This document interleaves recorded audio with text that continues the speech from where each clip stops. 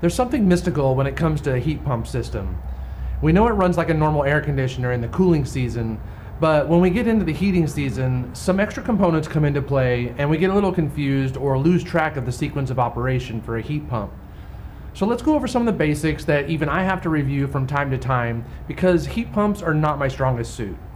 I have a video called Basic Heat Pump Operation that you might want to refer to if you need an even more stripped down version of the heat pump operation. This one's going to go a little bit more into the defrost function and what we should be checking to diagnose the heat pump that's not working or might be frozen over in heating mode on a cool day.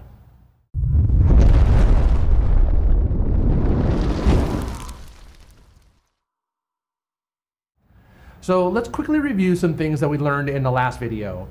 In cooling mode, the heat pump works just like an air conditioner. The refrigerant cycles through the system and basically makes the indoor coil the cold coil and the outdoor unit's coil the hot coil. We remove the heat from inside the house to the outdoor unit and pull it out there to be released into the atmosphere. In heating mode, a reversing valve reverses the flow of refrigerant to make the indoor coil the hot coil and the outdoor coil the cold coil. So we're trying to extract heat from outside and bring it inside which can be done down to a certain outdoor temperature. After that, there's very little heat in the air to extract, so heat strips will kick in to supplement that effort. A regular occurrence with a heat pump in the heating season is for the outdoor unit to go through a defrost cycle. You can imagine that cold outdoor coil interacting with the cold outdoor temperatures can cause some freezing. Anytime it gets below 40 degrees outside, the outdoor coil, being the cold coil, develops frost on it, it can't keep operating this way, or the frost will develop into a straight up ice block. So we want to melt this frost away essentially by switching back into cooling mode. Because remember, in cooling mode, the outdoor coil becomes the hot coil.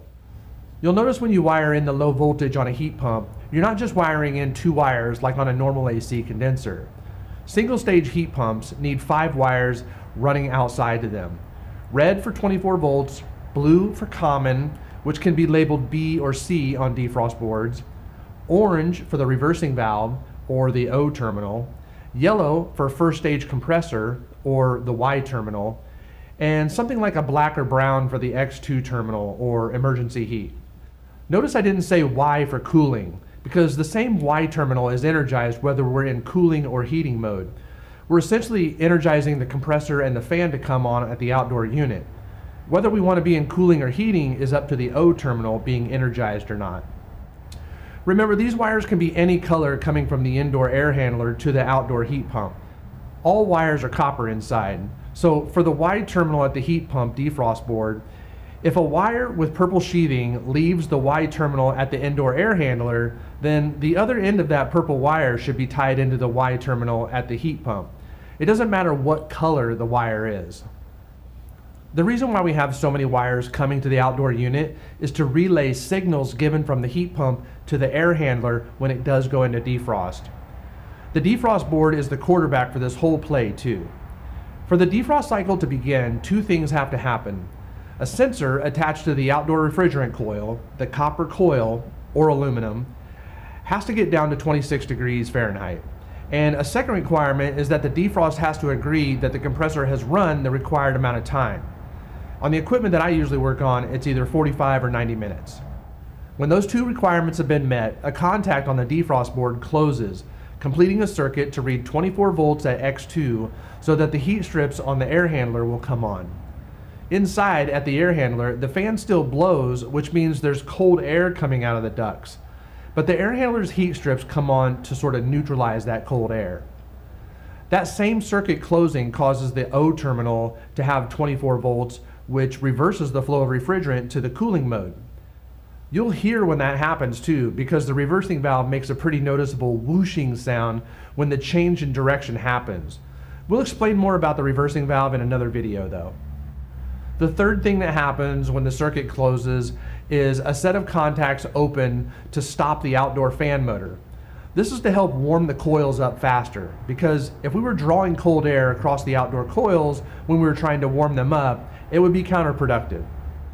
You would think that the reversing valve would energize to go into heating mode, But on 90% of the systems out there, not having 24 volts to the reversing valve causes the system by default to go into heating mode. In most parts of the country, having heat is more important than having cool air, so the reversing valve on a heat pump defaults to heating mode. Here in California during the summertime, we would strongly disagree with that. So what have we done here? And what terminals are supposed to be reading what voltage when defrost happens? You'll see that 24 volts can be read between C and R on the defrost board. 24 volts can be read between C and O. 24 volts can be read between C and Y. 24 volts can be read between C and X2 or whatever the emergency heat terminals happen to be labeled on your equipment. Also, the high voltage wires, usually labeled D1 and D2 on the defrost board, leading to the outdoor fan motor, will only be sending 120 to the motor instead of 240. So one of those terminals will have 120 to ground and the other terminal will have 0 volts to ground. What needs to happen for the demand defrost cycle to complete? When the liquid temperature leaving the outdoor coil reaches about 50 degrees, the defrost termination relay on the defrost board opens. If the temperature doesn't rise to that point after 10 minutes, an override switch will open and de-energize the relay, which will terminate the defrost cycle. One last time, the reversing valve makes a big whooshing sound and switches the flow of refrigerant back to heating mode. The outdoor fan turns on, the heat strips inside turn off, and the indoor coil becomes the hot coil again. When defrost has completed and the system has gone back into heating mode, here are the voltages that you'll read back at those same terminals from earlier. 24 volts can be read from C to R on the defrost board. 0 volts can be read between C and O.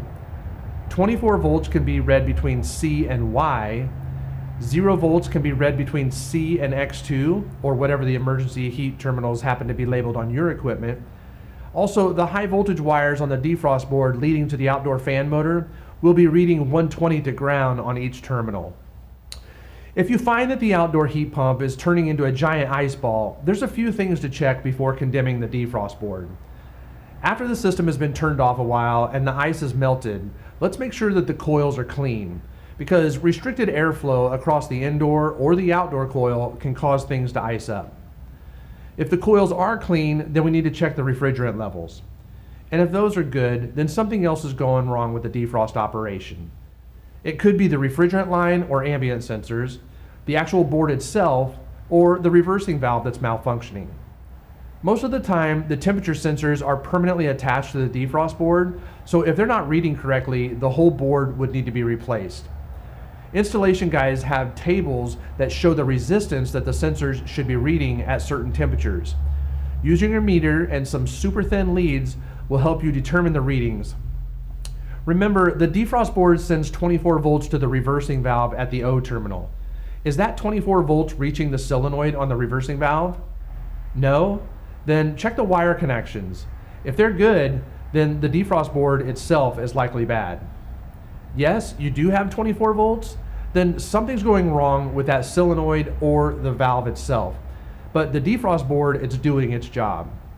Just like with control boards on a furnace, if the board is giving proper voltage to the motor and the motor isn't working, it's not the board. If the board isn't giving proper voltage, then it's the board or something else upstream of it. See, defrost boards aren't that hard, huh? So the next time you walk up on an iced up heat pump and you forget what to do, you can always refer back to this video. If this is your first time watching our videos, please click subscribe down here on the bottom right. And if you click that little bell next to it, you'll be notified of all of our videos as they come out. Thanks so much for watching, and we'll see you on the next video. You're watching Fox Family Heating and Air. Don't forget to subscribe. And check out more of our videos by clicking on the right side of the screen.